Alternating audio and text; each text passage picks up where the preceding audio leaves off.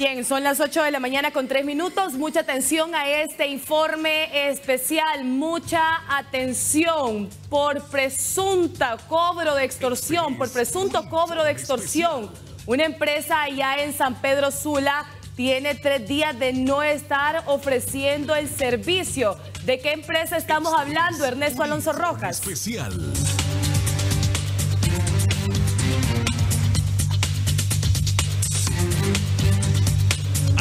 Gracias Dora Carolina, televidente Diable como habla, televisión digital Cecia Mejía, televidente en todo el país.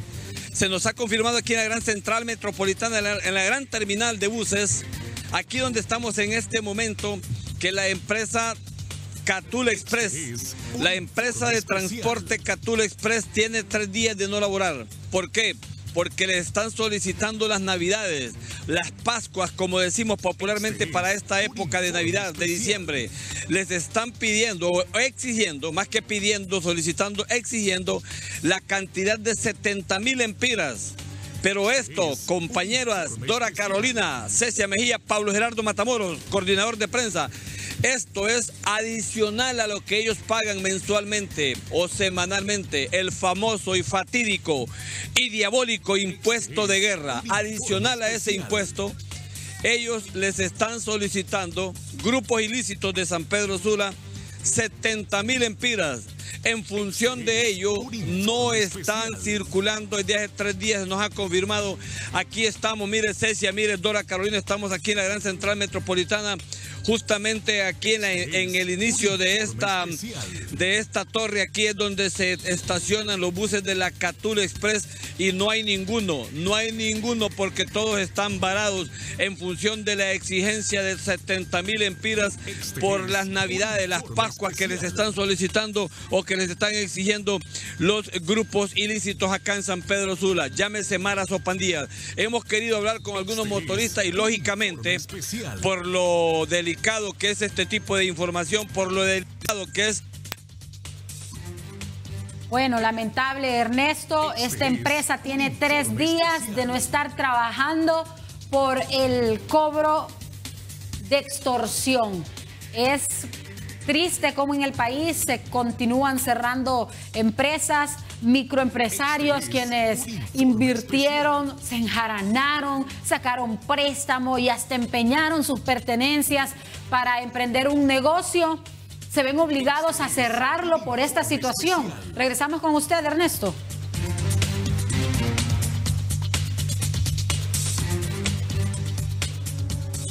Este es un informe especial. Bueno, seguimos viendo las imágenes y mm, es triste, reitero, lo que nos ha confirmado nuestro compañero Ernesto Alonso Rojas. Es la empresa Catul que ha cerrado operaciones por tres días. Esto afecta además a los pasajeros que utilizan a diario este servicio de transporte, a los empleados que mm, tienen la posibilidad de perder su trabajo y por supuesto a los dueños de esta empresa, o sea que es no, y también a los usuarios, a los usuarios que necesitan viajar, eh, pueden buscar otra empresa para hacerlo, pero igual al final se ven perjudicados, imagínense Qué lamentable que en el país sigue existiendo este cobro de extorsión. Y esta no es la única empresa, Cecia, porque nosotros nos llegan denuncias eh, que en diferentes sectores del país, hasta los taxis, eh, buses, buses de estas empresas que brindan pues servicio de viaje rapiditos, pues son objeto del cobro de extorsión.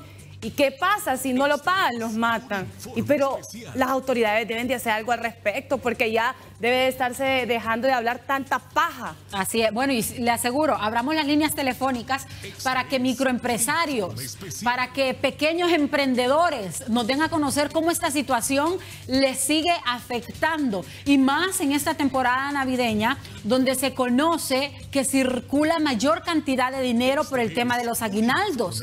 Se sabe de que hay mayor movimiento en estas fechas y es por esa razón que las personas que se dedican lamentablemente a este negocio no dejan a los demás trabajar y en muchas ocasiones, como en este caso, obligan a que las empresas cierren.